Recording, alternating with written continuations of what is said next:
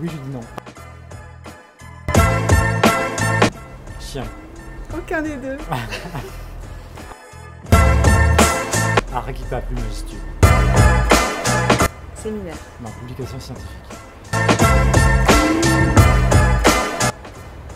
Terrain. Ah, voilà, terrain.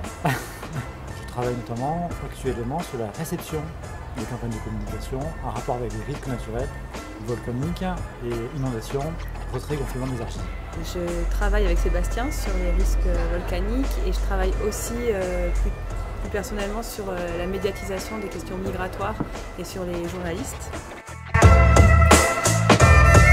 J'ai toujours voulu euh, comprendre comment se fabrique l'information et j'adore analyser les discours et leur sens et aussi quels sont les producteurs de ces discours et, et leur motivation, leur stratégie. Parce que ça me permet plein de choses. Ça me permet de travailler sur des sujets différents. Ça me permet de rencontrer des gens formidables. Ça me permet de, lire et d'apprendre plein de choses. Et moi, quand je vois un phénomène, j'aime bien des explications. Et, et,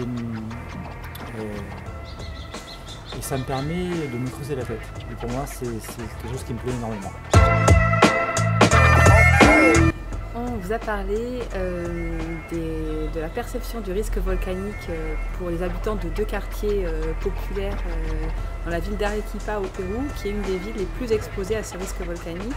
Et on vous a parlé aussi des campagnes de communication mises en œuvre et peut-être à améliorer ou à modifier dans, ce, dans ce même territoire. Prévention? Ah Oui, moi c'est pré prévention. La sensibilisation ne suffit pas. Être sensibilisé à un risque, ne pas savoir faire, quoi faire, on prendra de mauvaises décisions et en cas, de, stress, on, adoptera des, stratégies ou des comportements euh, risqués, dangereux. Ah, les... les deux Les deux, parce que si on dit euh, évacuer, on vous dira oui, mais si vous ne comptez que sur les autorités, euh, vous vous dépossédez de votre propre euh, pouvoir d'agir. Et auto-évacuer, c'est un peu désespérant parce que ça veut dire que vous comptez que sur vous-même. Donc, euh, ouais, gros, vrai dilemme. On a le choc. Le choc induit une réaction. Une réaction, une émotion. L'émotion peut être une action. En tout cas, les gens vont, vont, vont traiter l'information pas trash, euh, pas besoin d'être dans le sang pour, pour, faire réagir, ça pourrait être contre-productif.